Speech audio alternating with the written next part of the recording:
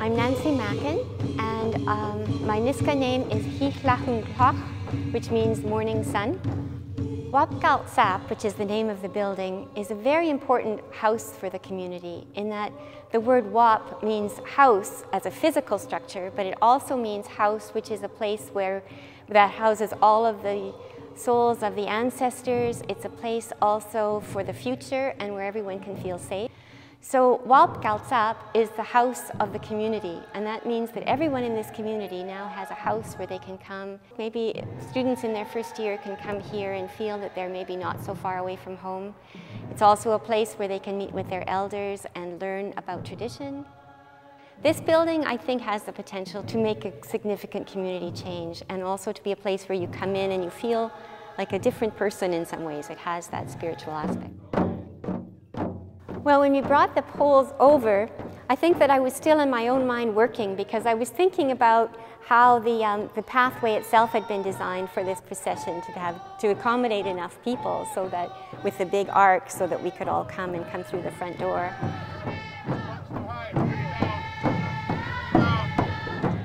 The main building is supported by the exterior walls and these four columns here which are then bridged across and, um, and supported with a, with a buildup of timbers and poles the way it would have been done traditionally.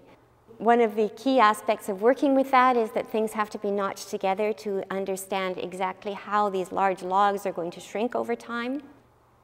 Also, the um, clerestory element, or what is called in Sm'algyax the Allah, was a very important part of traditional design because that was how fresh air and light would come into the building.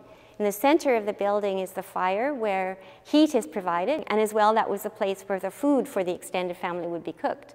So fresh air was brought in from the Allah, which was up at the top. And the Allah would be, a member at that time, would be a piece of wood that could be pulled down with a rope so that it could be adjusted. And therefore, you could get, depending on the winds, you could get just the right amount of fresh air coming in, fresh air coming out, and could also adjust for light.